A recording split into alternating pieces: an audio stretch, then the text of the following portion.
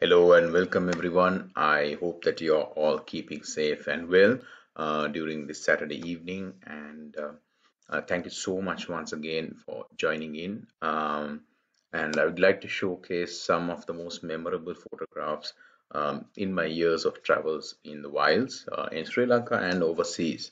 Uh, to start off with, I like to show one of my favorite photographs.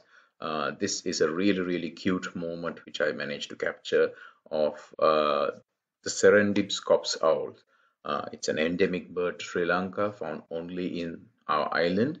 Um, they were discovered recently uh, as far back as 2004, and uh, I really, really wanted to see them for many, many years. Uh, I uh, I remember going about four to five times into Sinharaja, trying to locate them. They're they're found in the lowland rainforests of the island, and I I was not successful. Um, my tracker Tilak tried really, really hard, but um, we did not uh, have any success until one day I was back in Colombo. I was having a dinner with some family friends' place, and uh, I got a call from Tilak late at night saying uh, that two juvenile young owls were are seen roosting together uh, in a branch uh, of a tree very close to the roadside and for me to come ASAP. So I said, look, I can't come in the middle of the night, but um, I would try to make it uh, as early as possible the next day. So I immediately contacted my, one of my best friends, uh, Hamid, and we decided let's leave at about 3:30 a.m. We reached there at about 5:30, and we walked up to this place where Tilak was waiting for us. And lo and behold, these beautiful birds were together. They were perched really, really close to the uh, small village road uh, right next to the rainforest. And uh, we set up our tripods and waited for the light to get better. Uh, we kept the cameras at sil on silent as well because uh, we didn't want to disturb them as they are roosting for the day. And uh, and the light was pretty patchy as well because and the sun was falling here and there. So we had to wait for moments where the cloud used to cover over the uh, over the forest so that there was even light for the picture.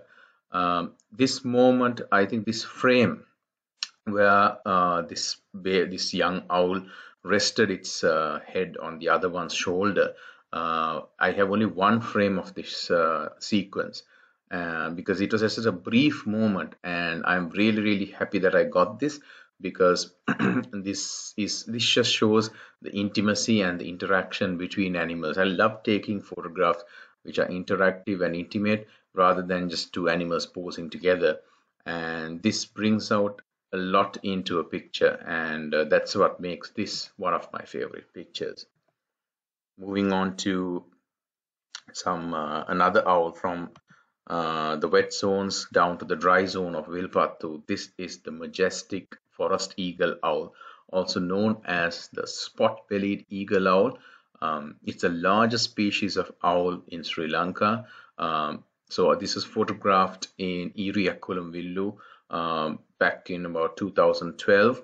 Uh, we were uh, staying in, inside the in inside the bungalow uh, inside the park, and uh, we were on our last morning drive, and we had not seen any leopards, and we were quite desperate to see uh, leopard on our final game drive. And as we were winding on this dark road, uh, this forested road leading towards this Villu, uh, we noticed a bird flying over over us. Uh, and it dropped something on the ground. Uh, as we drove up, we noticed that this was actually a half-eaten snake. Uh, we initially thought that this was a crested serpent eagle, and as we went to the opening of the Villu, our driver, Senevi, immediately stopped and he showed with his finger uh, at something, was pointing at something. Initially, I thought that it was um, a leopard, but then we realized up close it was uh, this majestic owl. It was really, really close to our Jeep. Uh, we managed to get some pictures while uh, it was perched on the tree, uh, but then it flew off and landed on a, a wavy branch like a, a, branch which is not very stable uh, and there were a lot of gray langur monkeys also perched there and they were getting excited because this owl is so powerful it's known to kill and eat adult monkeys so with that instability of that branch he suddenly fell onto the ground and he was a bit startled. And when he fell, this is the moment where he got up and he was a bit startled. Uh, that's why he's on the ground. We never see this bird on the ground like this otherwise. And uh, what's unique about it is the, the white sands of Vilpattu. It's really famous. The, the, the lakes, which are known as Villus, uh, from which the name Vilpattu comes, um, have a white brim of sand. It's usually iconic to see um, leopards uh, really lazing around in the white sand in the golden light. Uh, you would never hear of uh, seeing a forest eagle owl uh, in, a, in the sand like this. So that's why it's a really rare shot. It's a beautiful setting, a beautiful background. Um, and also I was really lucky to capture this. I wish I had my big lens, which I have now back then so that I could get a sharper shot, but it's not about the sharpness. End of the day, it's the moment and the memory that lives on. Uh, I would never forget this encounter for the rest of my life. Uh, that being said, I move on to another extremely rare sighting. Uh, this was also in Sinharaja, which is Sri Lanka's largest tract of lowland rainforest. Uh, this is a very, very rare white morph of the purple-faced leaf langur. Uh, they are endemic monkey species to Sri Lanka. Uh, the, the normal monkey is black to dark gray to brownish in color.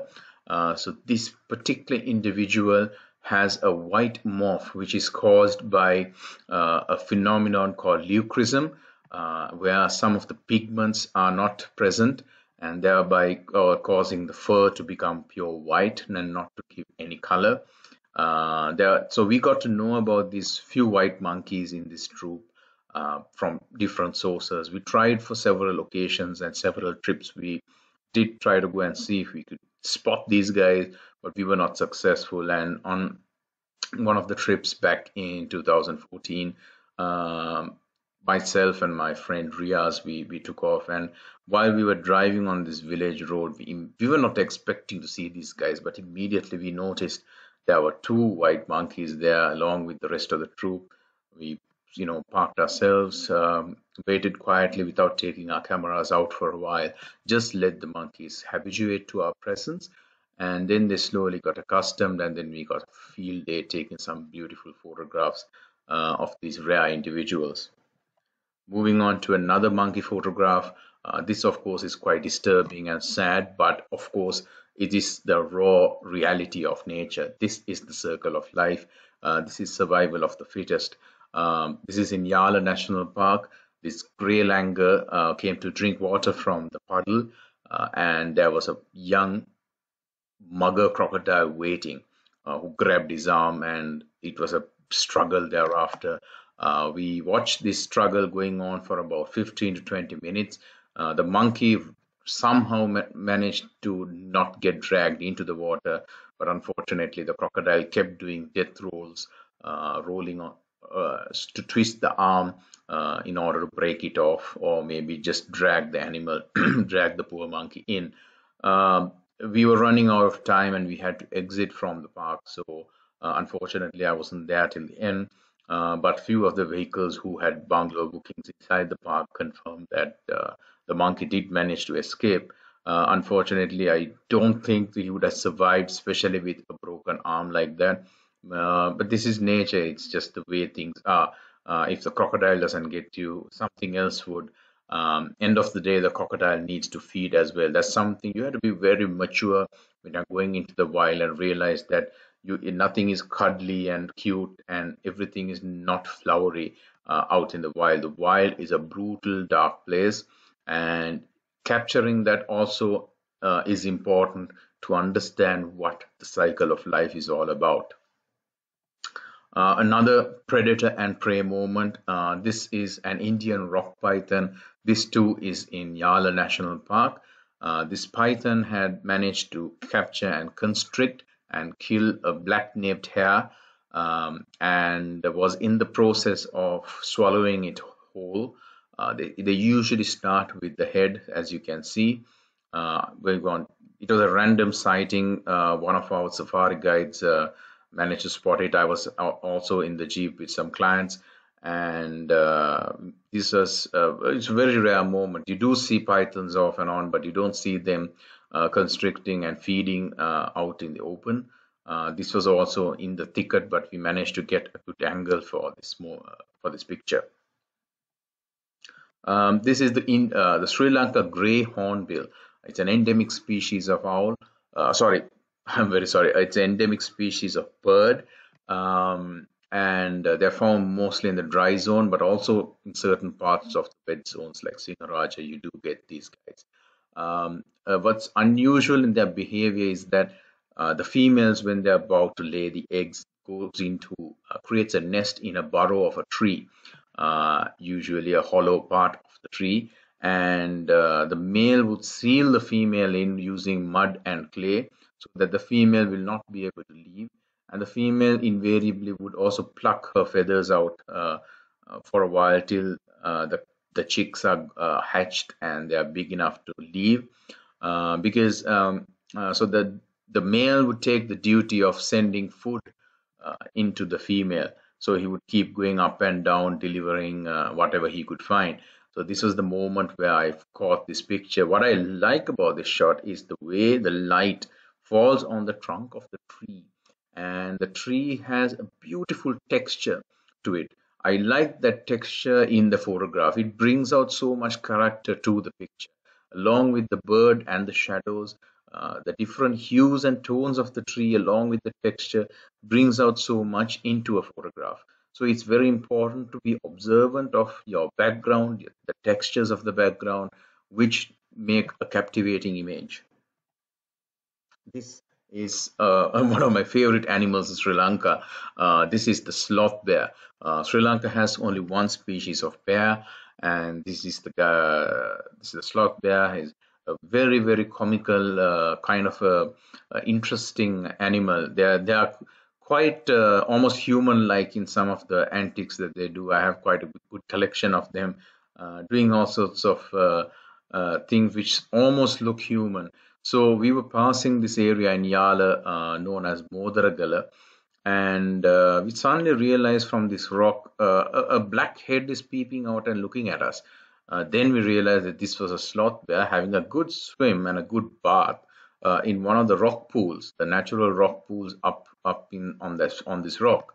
Uh, it was the height of the dry season, and this guy was having a good time. So we waited for a while until he got out of his waterhole uh, and started walking down the rock towards us.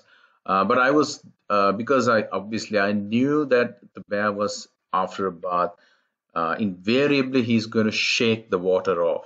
So I was getting my cameras ready. I knew he's going to do that, and I focused on the head because the main thing is even when he's shaking off, I need the head in focus um, uh, as he was twisting his body. So I kept the focus on the head, and at the right moment, the bear shook it, shook off the water, and I managed to get this shot. This also is in Modaragala, but a different tour, different trip. Uh, this was uh, where I traveled with Riaz. Uh, we cut the Royal We stopped.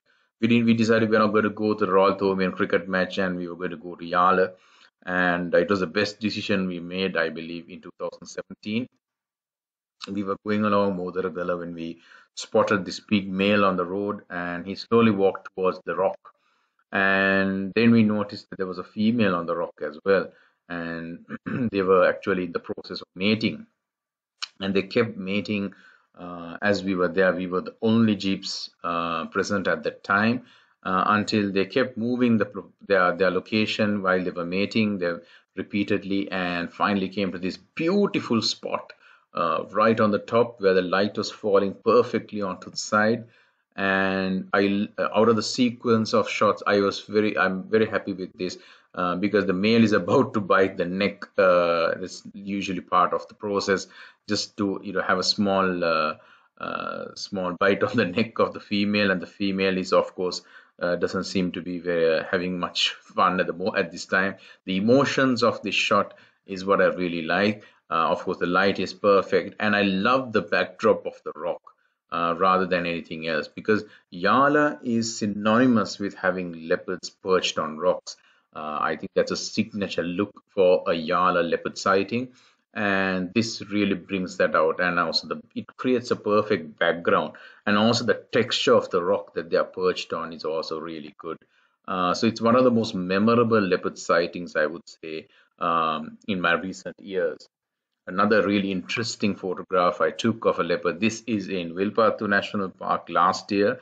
I was guiding some clients uh, when we uh, we noticed uh, there was a female leopard uh, close to Borupanvilu uh, out in the open, and uh, then she went back into the into the forest and did not come out. We heard a lot of noise inside. We presume that there's another male as well inside, and they may have been mating. we were hoping that both of them would come out and uh, get on with their business, but uh, it did not happen. So we stayed for quite a while. We were having breakfast, stayed for more than an hour, and then on the far corner of the Villu, the leopard did appear, and she started walking uh, in the section which which had some tall grass.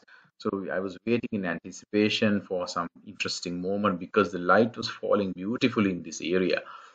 And I knew there was going to be some good pictures, and it did finally, as the leopard was perfectly camouflaged behind these reeds and looking straight at our jeep and reminds me of the movie Ghost and the Darkness, uh, where the lions were hiding behind the grass. It looks like that. It's quite eerie as well, knowing that there's a predator behind this grass. Um, and the way the photograph is taken, I'm, I'm i really like the way uh, the grass in the foreground uh, just camouflages this animal, and it takes a while for anybody to really notice that there's a leopard behind this, uh, and it's perfectly blended and camouflaged. Mm, so this is a very special leopard photograph for me as well.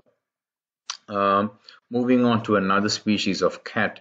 Uh, this is the jungle cat. Uh, they are quite difficult to see, especially during daytime. It's almost impossible to see in most parts of the country. Uh, the only place that I know of which you do have a chance of seeing during the day uh, is at Udawalawe National Park, where I got this photograph. But you have to have uh, a, you know some sort of understanding on the behaviors and the telltale signs of these cats. So experience does matter and also going with the right tracker. So i have one of the best trackers who used to who goes with me in Udawalawe known as Lionel. And uh, we were on safari uh, for two days and on the on the second day in the morning uh, we tried really hard but we didn't have any luck uh, at about nine o'clock, uh, we thought, okay, let's have some breakfast. And we parked. We said, okay, we are not going to go to a picnic spot. Uh, we rather park on the roadside uh, inside the park and just have whatever we brought um, while while we wait. And that was a good decision because a few moments later, this jungle cat suddenly crossed the road and walked into the for into the bush. Uh, we immediately dropped our breakfast wherever it was like was and uh, drove ahead. And this cat was just walking in and suddenly turned around and gave us this piercing look. Uh, and i really liked the fact that the leaves in the foreground were out of focus which gives it almost like a tunnel like look uh, where the subject is in the middle and the green parts act as a frame almost like a natural frame uh, so this is a technique which I really like uh, where we diffuse the foreground and uh, focus on the animal which is further in inwards um, and it came out beautifully. Now moving on to actually the tuskers. The tuskers of Sri Lanka uh, I would say are what I'm most passionate about and I've been um, you know trying to uh, explore uh, and document uh, almost every tusk I could find in Sri Lanka over the years since I was a kid. Um, elephants in general are very, very close to my heart, uh, and this, the rarity of these tuskers uh, is what makes me really interested about them. Um, there's only roughly around 200, maybe 250 tuskers left on the island compared to over 6,000 elephants. Um, the there's so only the males of the Asian elephants carry ivory, and unfortunately in Sri Lanka, due to different historic reasons of human manipulation, may be hunting or taking domestication or exports, uh, all of that has led to the prime tusker population declining, and most of the males who are left are without tusks. So it's very, every tusk is special and that's uh, i've been very active many years uh, on the cause to create awareness and conserve these majestic animals. Um, that being said, this photograph also is by far my most favorite image of all my wildlife photographs. Uh, this was in Vilpattu National Park, and this tusker is named Mega. Uh, he was photographed by me in 2013, and uh, unfortunately, Mega died last year. Uh, thankfully, it was due to natural causes. Uh, he was, I think, attacked by another male. Uh, well, it's sad, but at least it he died in the wild in natural circumstances. Uh, so this story is that we were actually driving past Maradan Madua. We reached an area called Thambiolua, where our tracker Priyantha spotted this guy uh, deep in the forest. Uh, so we, we know he's a very, very shy tusker. He's extremely shy and very wary of vehicles and people. Uh, maybe that's the reason why he survived for so long. Uh, so we parked ourselves uh, by the roadside and quietly waited for him to get habituated to us and see what happens.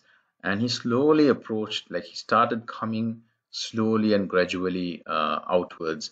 Uh, and at one magical moment, he turned to the side, and a beautiful ray of light, uh, a patch of light, fell right on his face.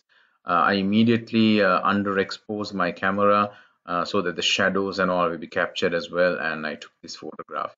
What I really like is the mystery of this, you know, majestic beast hiding in a dense forest, which is signature Vilpattu landscape. Vilpattu uh, is all about having the open villus or the lakes along with uh, these dark, dense, thick forests, which is very different from the wilds of many other national parks in Sri Lanka. And this epitomizes spirit of Vilpattu and that's the reason why it's really close to my heart. Uh, moving on to another very interesting tusker. This is Mahasen.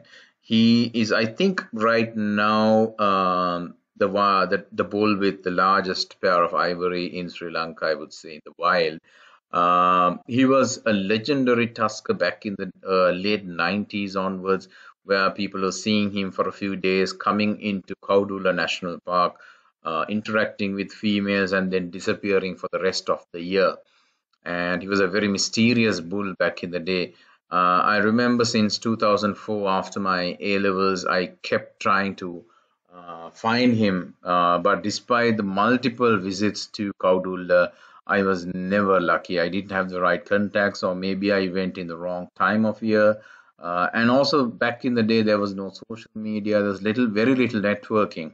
And I remember, like some people used to say he's dead. Some people said they have not seen him for a few years. So I was, I actually lost hope until around 2009 um, when I st- started chatting in some wildlife forums and. Uh, uh, my now very good friend uh, and uh, mentor Namal Kamalgoda uh, said that he saw this guy a few weeks back, and I was really excited. Uh, but of course, I missed him that year as well. Uh, 2010 again, I missed him. 11 as well, and finally in 2012, I managed to get a glimpse of him. It was a magical moment because we were waiting in the park, waiting for near a herd of elephants, hoping that this guy would come out.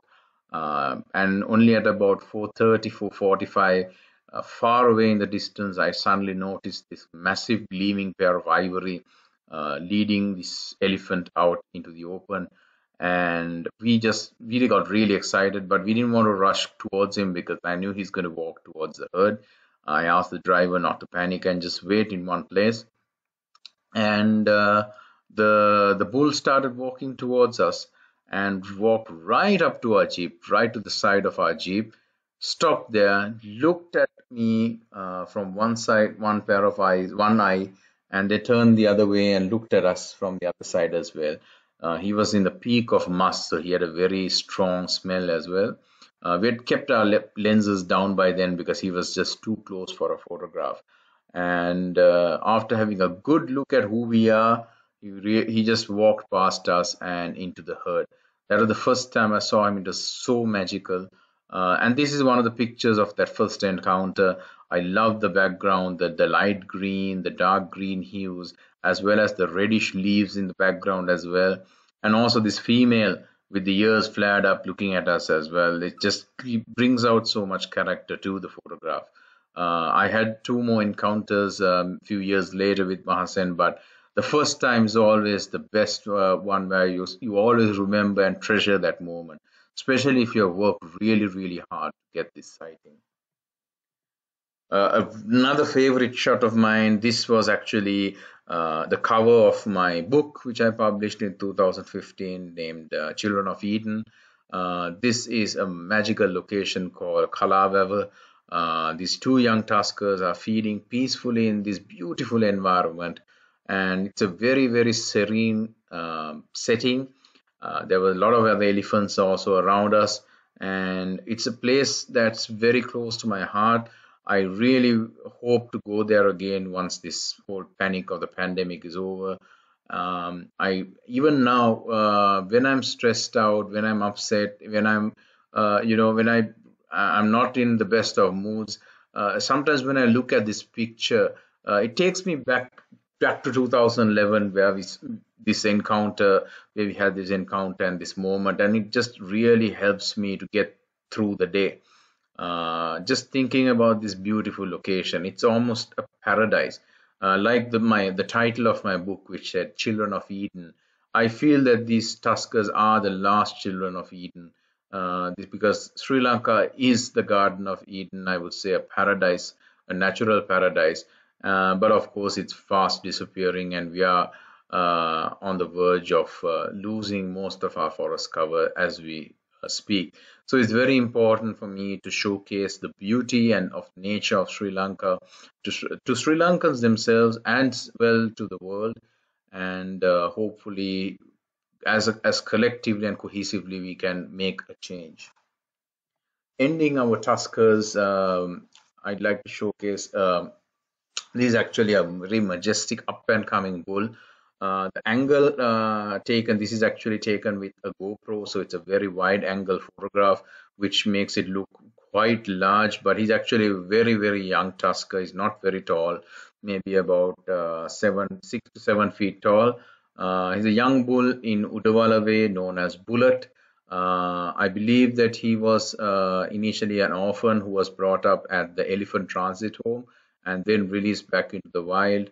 Um, unfortunately, despite his beauty and uh, impressive pair of tusks, uh, he's developed a nasty habit of uh, frequenting by the roadside near the electric fence, uh, asking for handouts from passers-by. Uh, this is very harmful for him because people who are ignorant uh, will start feeding him uh, things which are not naturally digestive to elephants and can cause a lot of harm, especially if they throw polythene and things which are very harmful for them. Uh, it can really adversely affect this uh, elephant, its health, and maybe even result in death. So I urge the wildlife authorities of uh, Udawalawe to see if they can even build a secondary electric fence to keep this guy away from the road. And he's also a prime target because of his tusks for poachers. Uh, people are looking uh, all the time. And uh, this is not the best of circumstances to be out there an open target. If this guy has, is protected for the next 15 to 20 years he's going to become one of or if not the most impressive tusker that sri lanka has ever seen. So it's very very uh, important it's imperative that the wildlife authorities takes this seriously. And do something to keep these guys uh, safe. Uh, there's another young tusker in the park as well with very impressive ivory known as Aravind. I hope that Aravind and Bullet, both of them, uh, are safe for the next uh, few decades and continue to awe-inspire uh, Sri Lankans and uh, overseas visitors alike. That being said, we are moving on to a different country and a different continent altogether. We are moving to Africa. This is a land very close to my heart. Uh, and starting Kenya, basically, I, I visit Kenya very often. And the park that I always start my safaris with is Nairobi National Park. This is a national park right next to the capital city of Kenya. I believe that this is the only safari park in a capital city uh, what's amazing about it is, despite being so close, such close to an uh, urban environment, has almost all the big game uh, you could find except I would say elephants. Uh, you have all the big five, and it's one of the best places in Kenya, I would say, to uh, see both species of rhinoceros, the, the white rhino uh, as well as the black rhino, which is very, very rare to see uh, usually. Here we have the white rhino posing in front of the city landscape. This photograph is initially taken in color. it wasn't very impressive as a color photograph. I converted to it to a uh, what you call a high key image uh, in uh, Lightroom. I converted it to black and white and then increased the exposure and the contrast to bring out the details of the picture. This is a technique that I've been using for the last few years. Uh, it, uh, for, especially for images where the subject has uh, is in the shadows or is a little bit dark and the background is really well lit up. Uh, this is perfect for high key images where you can play around with uh, Lightroom or maybe Photoshop. Uh, but it's you know generally a very artistic rendition of what it could be. And I really like to see this majestic animal, almost like a medieval, um, you know, mythical animal, like a like a tank built like a tank, uh, with a backdrop of huge city skyscrapers. So that's what makes Nairobi National Park that's that much special. Uh, it's a true urban wilderness, and it shows that wildlife and humanity can survive together. Now moving on to Amboseli. Uh, overall, Kenya has the best light possible for photography. Uh, you can go to town with different techniques and methods to get your pictures. Um, rather than being safe and taking a photograph which uh, where the subject uh, where the sunlight falls directly on the subject, I I prefer to look at a backlit uh, method of photography where uh, you photograph against the light.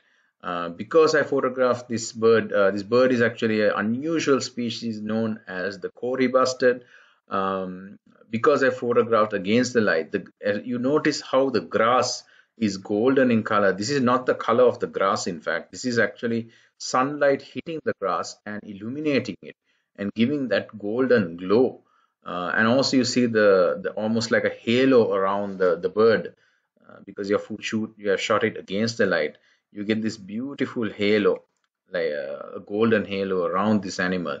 I love experimenting with uh, this form of light and taking something less safe and less out of the uh, ordinary. Uh, that's africa is your playground for photography and you have to make the most of it. Uh, this is in masai mara.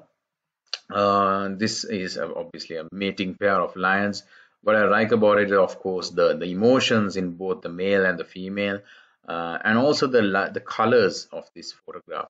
It was raining. If you see, there's sort of a drizzle going on, and uh, the lighting and the colors of the grass was perfect for this moment. Uh, it was almost like a pastel watercolors effect on the grass.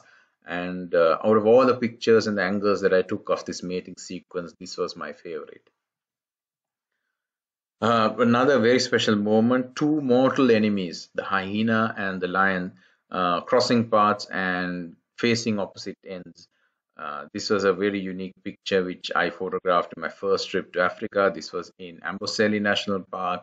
Uh, and as you see, using this uh, backlit or against the light uh, style, the grass is golden in color and also the animals are you know underexposed. I have used a technique where i reduce the brightness in the camera itself and it brings out so much detail uh, of this of this image. Uh, you get almost like an halo effect you see in the chin of the lion a little bit on the hyena as well.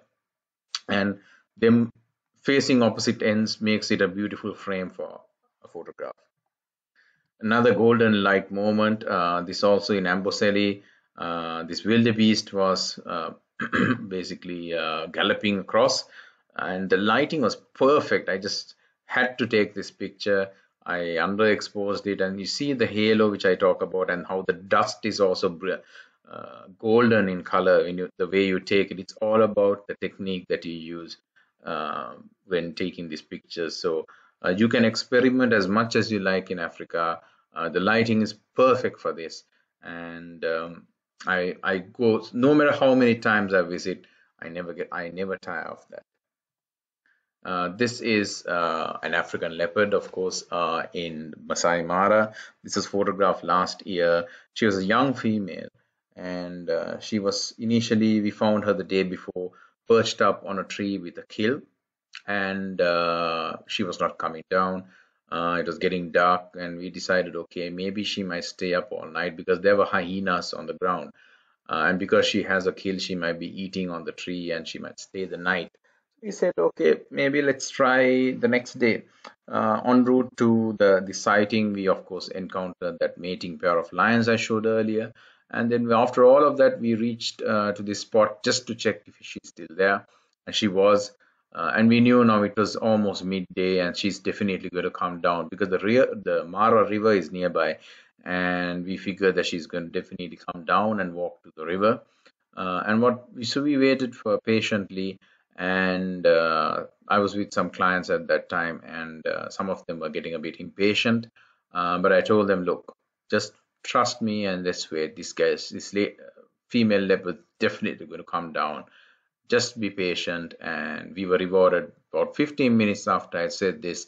She came down and she started walking towards the river. So we intercepted her and uh, went up ahead and had the perfect angle and the positioning to get an eye level photograph. I love taking eye level shots like this and she as she was walking the light was per hitting perfectly from the side uh, giving a good balance of light and shadows as well and I, uh, I, I was very happy with this shot. Uh, and also being an African leopard, it's very different from the Sri Lankan subspecies. It's always a pleasure to photograph any different subspecies uh, of an animal. This is a cheetah, uh, also in the Masai Mara. Uh, it's a quite, I find this quite a funny image because she's actually not laughing, but rather she's uh, yawning. Uh, but the way it's captured, it, it, looks quite funny. And uh, I like capturing expressions in animals' faces uh, rather than a boring poker faced pose. any kind of expression is always interesting um, because you're, you're, you're photographing not just an animal but a character. And so, this is the reason why I really like this shot. Uh, moving on to, I would say, my second favorite animal in Africa after the elephant. Uh, this is the black rhino. I really, really like the black rhino even more than the white rhino. I find them far more interesting. They are more aggressive. They are more, um, they are more grumpy, I would say, by nature, and they are more active as well. Uh, while I feel the white rhino is very more docile and more like a large lawnmower just eating grass, while these guys are more active, more mobile. Uh, so this is an interesting story. This was in Nairobi National Park. Uh, we were on safari and we were follow, trailing this black rhino, uh, this big male who was following uh, a female and a sub-adult calf. Uh, obviously, he was interested in mating with the female, but after we were driving parallel to these guys, and the female was going to have none of it. She just turned around and let out this high pitched scream. Uh, very unusual noise. We don't expect such a noise from a, such a large animal. And the male was in such a shock, he just turned to the right and started galloping towards us, straight towards us. And we were wondering whether this guy is going to charge and uh, crash into us in excitement. Uh, and uh, we were just bracing ourselves for the worst. Uh, luckily for us, he swerved to the right and moved away. Uh, I think pretty embarrassed after being chased away by this female. Uh, as you see, this is the female and the young uh, sub-adult calf that uh, this male was chasing. Uh, black rhinos are so much more interesting. As you see, they are they are quite active. They are, I like the way they pose. They are a little bit smaller than the white rhinos, but nevertheless very impressive. Masai Mara is a place where it's very difficult to see black rhino. They do have a few, but I was really lucky. I had a, I have an excellent Maasai guide. He's from the Maasai tribe itself. His name is Mike. He was determined to show us um, a black rhino in the Mara on our last safari, and he really worked hard.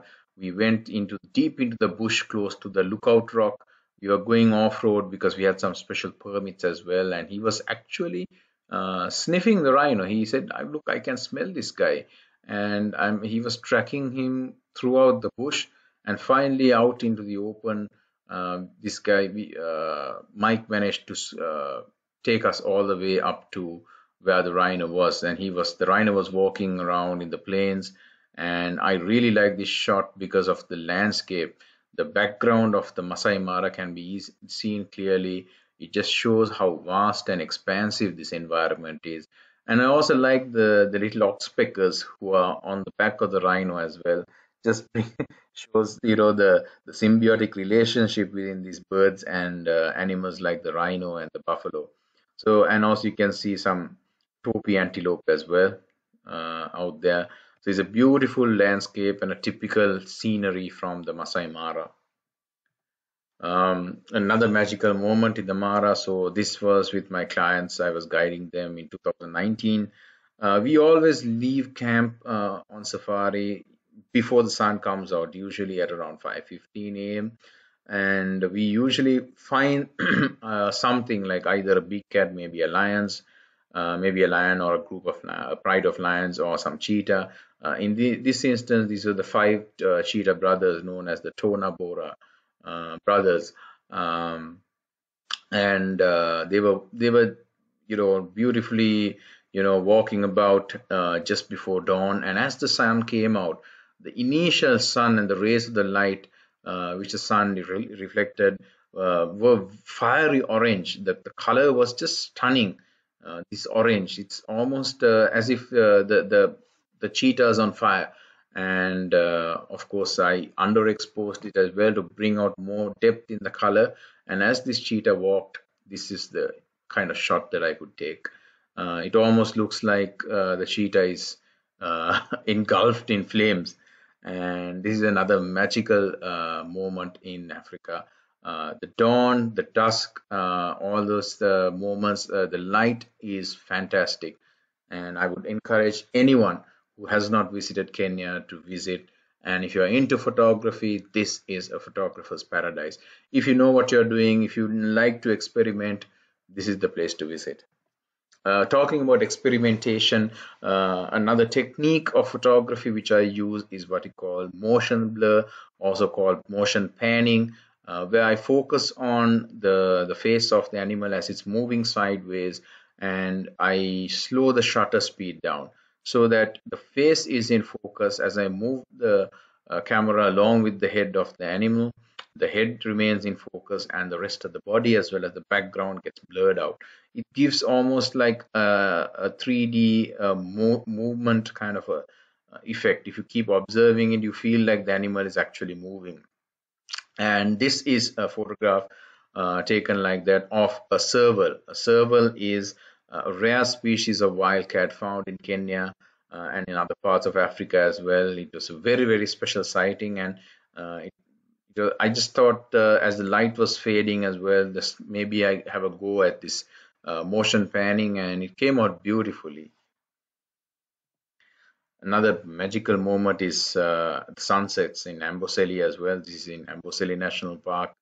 Uh, you see, as the sun is setting, these two young male elephants are having a bit of a tussle, uh, and this beautiful mountain in the background uh, also, right, you know, showcasing the, the landscapes and the, the breathtaking sceneries of Africa.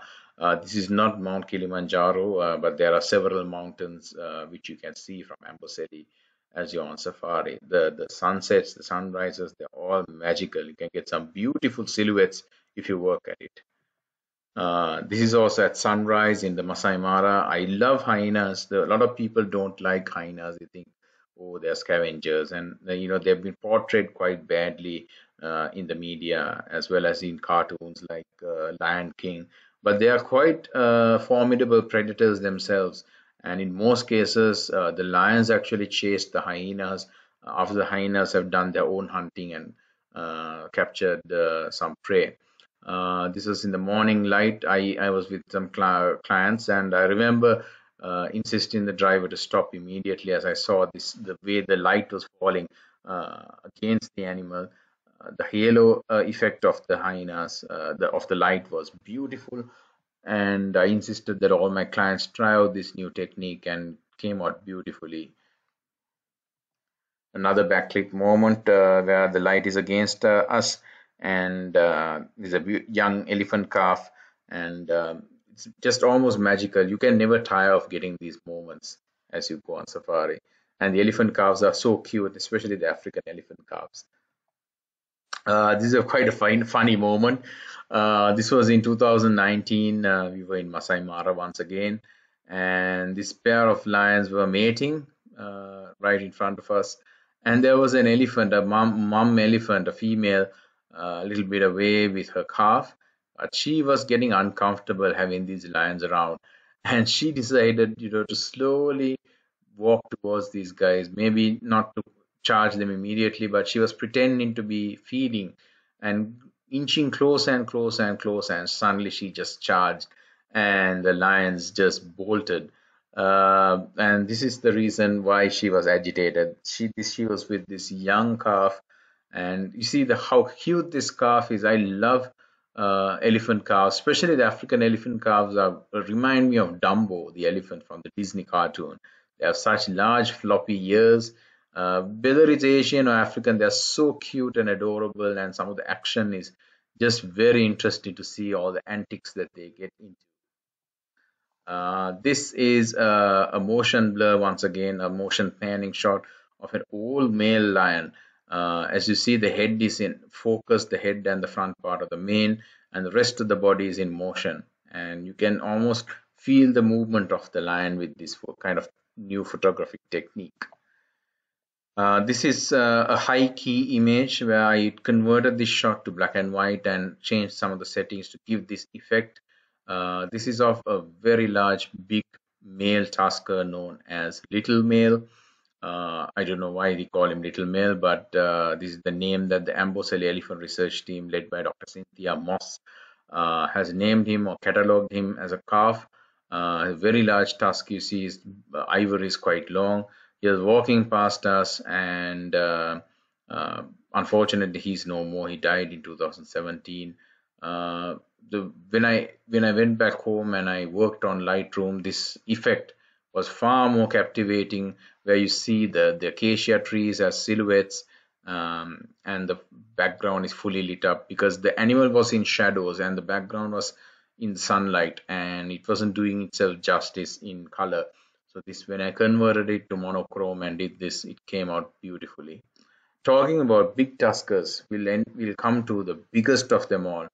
This is uh, Tim, uh, the largest uh, tusker that I have encountered in my travels. Um, he's a massive bull.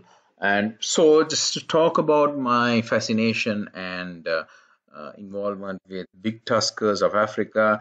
As a child, for many years, I've been reading so many books, stories about old hunting tales, as well as stories by Wilbur Smith and few others about these massive mammoth-like elephants uh, who used to roam Africa uh, for many years. But unfortunately, that hunting uh, and poaching uh, have ended up uh, decimating this gene pool and this gene stock and now elephants are having smaller and smaller ivory in Africa. And it, I almost thought as a kid um, in school that uh, these guys were no more, but further reading and research revealed that there are a few individuals still remaining. I researched and read up a lot. I made a lot of connections and network from different parts of Africa. And finally, uh, in 2016, uh, I was determined to go and find a big tusker, and Tim was my target because I realized Amboseli was a small park, and if Tim is around and if he's in musth and he's around in the park, I would, would have a chance to see him. Well, uh, I think it was uh, easier said than done. Uh, I made all these arrangements. Uh, I checked with uh, Dr. Cynthia Moss's team on his whereabouts and I headed to Africa. I took my mom as well on my first venture and we spent almost five nights in Amboseli and it was not easy at all. There were so many elephants everywhere and Tim was nowhere to be seen. Uh, and on the final safari on the on the sixth morning uh, on the final safari the final day just before we were going to go to the airport uh, out in the distance i saw a herd of elephants and i just told the the, the driver at the time stop and i just focused my lens and uh, lo and behold tim was with this herd. He was very far away almost a few kilometers away. And i was really excited. I said okay this is tim but how can i get close to him? And uh, the, my guide at the time told don't worry this guy is going to cross the road uh, in front of us let's be patient. And i was really excited. My adrenaline was pumping. And this guy as predicted slowly followed the herd. The herd initially crossed the road and then this guy slowly came and posed beautifully for us with this magical light and walked across uh, and crossed the road and headed towards the marshals. And i was elated. It was amazing to have this kind of a close encounter uh, my adrenaline was pumping the hair of the back of my neck was up it was just uh, the most unforgettable and unbelievable uh, wildlife moment of my life my adrenaline was so high it took me about an hour or hour and a half for, for me to calm down. I was so excited. This was the most magical moment in my life. And uh, I was blessed to see him that day. He was so tall and his tusks are almost touching the ground. And you don't see these, uh, these kind of bulls in Africa anymore. Uh, as you know, um, in Africa, the African elephant, uh, the female and the males have tusks. Uh, usually the male's tusks are thicker uh, and longer, but over time, due to selective hunting, uh, where the prime bulls, the big tuskers, were always targeted, now there remains only around 20 such big tuskers in the entire African continent. Uh, that being said, I met him again this time in 2019. I was with some clients, I was guiding them, and I was determined to show them the majesty of Tim. And I had to pull a lot of strings and make a lot of connections to get access to see him because he was outside the national park. He was uh, roaming around in a private conservancy, and I had to pull a lot of strings and connections. But I made it happen. We went into this, we got a forest with the rangers, and Tim was there. Not only was he uh, there alone, he was with uh, his friend Craig, who is seen at the back here. So Tim and Craig, we might we feel that he might, they might be half brothers. Uh, they're definitely not from the same mother uh, because the, the records have uh, been there for a long time by the research team. But we feel that maybe it's the same father uh, because their tusk shapes are almost identical. Craig is slightly smaller, uh, Tim is uh, taller and has bigger tusks. Um, but to see two big tuskers like this, maybe the last one of two of the last 20 remaining in the continent in one frame in one photograph is almost unheard of it's just unbelievable to see two of them together and we were really blessed to spend over three hours in privacy. We were the only guys there with, the, with that special access.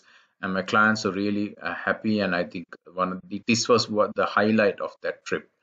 Um, unfortunately, I was hoping to see Tim again in 2020 when we were leaving uh, on a tour, but unfortunately, he had died two weeks earlier from natural causes. Uh, the reason uh, they say is because he died of a twisted gut, which apparently is very common in older elephants. Um, we never, we would never know, but he's no more. Uh, unfortunately, we didn't see Craig either because as Tim had died, uh, Craig also has gone into hiding when we visited. Uh, but of course, there are a lot of up upcoming males in Amboseli. Amboseli ecosystem has some of the highest uh, densities of you know elephants with big ivory. Uh, so it's a place which is very special. If you really want to see tuskers, this is the place to go. Uh, and most of the young guys who are coming up in 10 to 15 years would be as impressive or even more impressive than Tim. So I think the legacy of Tim will live on. Uh, he would remain as one of my favorite tuskers uh, in Sri Lanka or in Africa, wherever uh, who I've encountered. And um, yeah, so that's the it's amazing story of this majestic bull. that ends my uh, story of Africa, and then we moved to India. And India is home to the most majestic big cat, in my opinion, the tiger. Looking into the tiger's eyes, you get hypnotized. That the gaze, that that uh, piercing gaze, is something like no other. The golden eyes just looking straight at you, uh, and these beautiful black and orange patterns there's nothing like that in in in the man-made world to replicate this beauty. Uh, for me the the big cat out of all the big cats in in the world the tiger is my favorite. Uh, this was a young uh, male taken in uh, National Park and uh, I was with my friends uh, Namal and Bala and we got really close this this tiger was very accustomed to people and got pretty close to us and I was able to get this beautiful close-up shot um, as it walked right towards us in this beautiful golden light. This also is in Tadoba. This is the largest male tiger in this reserve. His name is Matkasur. Uh, he was sleeping in the in the forest. We could see him, uh, and our driver suggested that we go up ahead and maybe turn the jeep around and be ready as he comes onto the road. And as we were turning around, he, he was walking towards us uh, with an entourage of vehicles following him. So it wasn't great for a picture. But then he suddenly swerved to the side uh, of the road towards this tree. Uh, my driver, Nikhil, immediately tried to race towards it, and I had to basically hold his shoulder and say, Stop, don't go near him.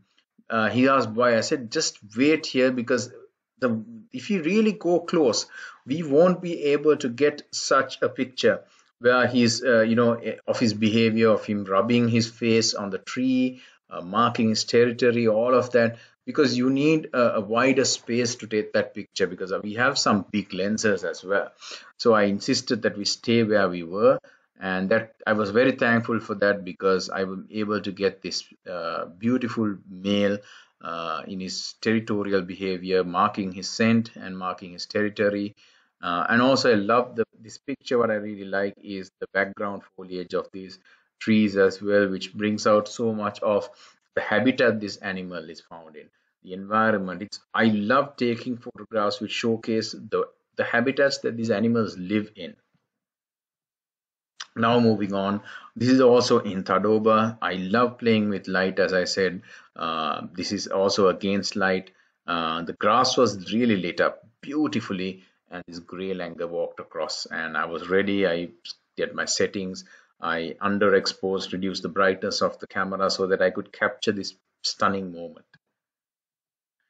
Uh, this is in northeastern India. This is in Assam uh, which in the far northeast of India, almost like uh, a different country altogether. It's a beautiful park called Kaziranga National Park. Uh, this is a hog deer. Uh, why the way I took this picture is I wanted the the foreground, the flowers and the plants in the foreground to be out of focus and to focus on the this deer who was peeping out of this this foliage at and looking at us uh, it gives a really nice look because the foreground is blurred out and uh, out of focus and your entire focus goes on to this, this beautiful animal looking straight at the camera. Uh, also in Kaziranga, the highlight of our trip is to see the great Indian one-horn rhino. So this, uh, I would say, is the most medieval and prehistoric looking of the rhinos that I've encountered, even more more so than the two species I saw in Africa. Uh, they all have this armor armor plating of sorts, uh, and uh, they look very primeval. Primeval, and um, if you and as the name suggests, they have only one horn. Um, and they're quite large. They're actually bigger than the the black rhino, uh, but they're still slightly smaller than the white rhino. They are they fit in between. Uh, this guy was walking right towards us, uh, and then he swerved to the, the right and climbed onto the uh, onto the road right in front of our jeep. Uh, he was after a female once again, like in like in the case of the black rhino. He was after a female, and the female was not having any of it. She was extremely annoyed that this guy was harassing her and following her, and she charged him. The female is uh, the one on the left and this is the male. The male was very defensive but unfortunately he lost uh, this battle. And he tucked tail and he tried to run away and the female just chased him and gave a big bite on his backside. And i think he was very embarrassed. He never showed himself after that. Uh, and the female was walking around close to the roadside for a while. Uh, as you see also the uh, these rhinos have this weird skin folds which look like armor plating and especially on its backside and all so it's a very unique species of rhino and uh, Kaziranga is the best place in the world to see this amazing species and it's a wonderful national park which I would love to visit again. Now moving on from India to Europe to end our uh, journey. Uh, this is the European bison, also known as the Wisent. Uh, native the, in Poland, they call them Zuber. Um, they are the, one of the largest species of cattle, wild cattle found in the world. It's so majestic. Uh, I really wanted to see some bison when I went on a business visit to Poland. Uh, I have family there. One of my uncles lives there, and I told him, Uncle, I want to see a bison. And he was like, uh, What bison? I don't know what you're talking about. But I said, I did my research. There's a massive forest in, in the Belarus border, close to Belarus, uh, where you get these guys. And can I try? and after my meetings are over uh, for a few weeks uh, for a few days actually i set off on a weekend um, with two friends of my uncle and as we were driving past this forest so there was a, the road cuts through the forest and leads to this remote village uh, we were hoping to go to the village and meet up with a professional guide who was going to take us around but on the way i noticed there were a few cyclists who had stopped and were taking some pictures of something and so I just told the car to slow down and I noticed there was a bison in the forest. I immediately told the car to stop. I got down, I got my lenses out and I just walked towards this bison. Uh, it was not this guy, there was actually a younger male uh, who was out in the open. Uh, I did some picture, I took some pictures, but uh, then I noticed this big male was at the far at the back in the background deeper in the forest so i slowly walked myself through through the forest uh, inching and closer and closer towards this big guy until I approached him. He was massive. He has some really impressive pair of horns. He would have been easily about five, five and a half feet uh, at the shoulder, uh, almost as tall as I was. Uh, very muscular bull. And I love the forest background as well. That's why I took this kind of a background shot with the, the white flowers uh, and the, in the bottom and uh, I, I did maintain a good distance because I don't know what these animals do. I was on foot. Uh, there was a fallen tree, so I, I crept behind the tree and got got to a safe distance as I captured these photographs. Uh, here you can see how big he is. He's putting his black tongue out and he's looking around, sniffing around. Uh, very impressive animal and something I would really treasure for the rest of my life. So that being said, we come to an end of this uh, photographic journey. I hope that you enjoyed uh, this and look forward to uh, having uh, having to travel with all of you once again. Uh, hopefully, you can join me in one of our upcoming tours. Maybe once the pandemic is a little bit settled, we hope to do some tours next year uh, as well to Africa and to other parts of the world. Uh, so thank you so much and do stay tuned for more updates.